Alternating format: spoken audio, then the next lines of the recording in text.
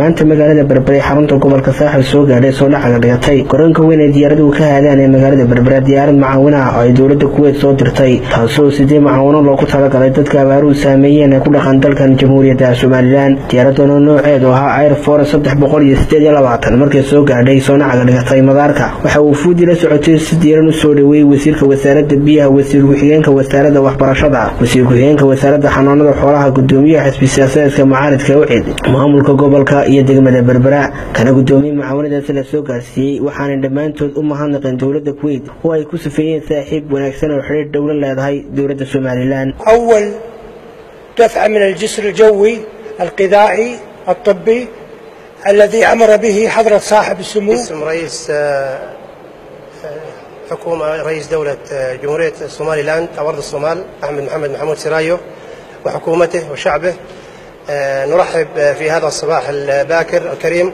نرحب بوفد آه، دولة الكويت الشقيقة. كويت شاف صباح.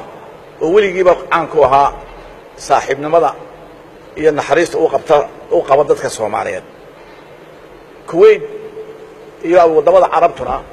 وحي ما أنت موجين يعني أنت نوك يا يجي يدفك وسترنك لا تدفك على لهم مساكين إلا سوق قارين. شخص إيه، شخص. Sheekh sabaax aad iyo aad baanan ugu mahadnaqaynaa. Deeqdaa uu maanta noo keenay. Waxaanan leenahay waanu kaa guddoonnay. Waxaanan dadka walaalaha ee kale ee muslimiintaana uga baryaynaa ilaahay inuu ilaahay abaaraha naga saaro. Waxaan celinayaa dowladda kuwait oo sida sharafta leh isaga isu soo xilqaantay oo hawshan uga soo uga soo qayb qaadatay. Waxaa waxaan shiikha ama amiirka iyo shacabkiisaba aad bay ugu mahadsan yihiin hawshaa ay inoo keeneen iyo deeqda. Guud ahaan marka aan idinka warramo waddanka dee abaar uun baa jirta abaar ba'an baa ka dhacday waddanka.